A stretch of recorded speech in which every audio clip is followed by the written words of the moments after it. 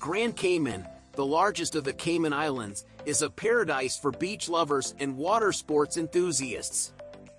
The island's stunning beaches include Seven Mile Beach, which boasts soft white sand and crystal clear waters, as well as numerous coves and bays.